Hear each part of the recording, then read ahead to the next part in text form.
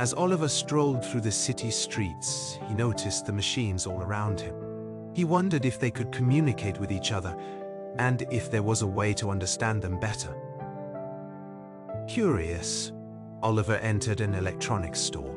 He explored the shelves filled with electrical components and wondered if he could learn to communicate with them. One day, while sitting in front of his computer, Oliver began typing. Suddenly, the machine responded with a beep, and a message appeared on the screen. Hello, Oliver. He was amazed. As he continued to tap on the electronic device, a lightning bolt flashed across the screen. I can communicate with you, Oliver said excitedly. You're right, I'm a machine, and I can help you solve problems in your neighborhood, the electronic device replied. I can also teach others about the importance of understanding and caring for technology that impacts our daily lives, it continued.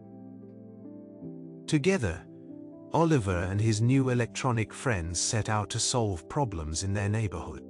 They taught others about the importance of understanding and caring for technology that impacts our daily lives. As they worked together, Oliver learned more about machines and how to communicate with them. He also realized that technology can be a powerful tool for good when used responsibly. Through his adventures, Oliver learned valuable lessons about communication and collaboration.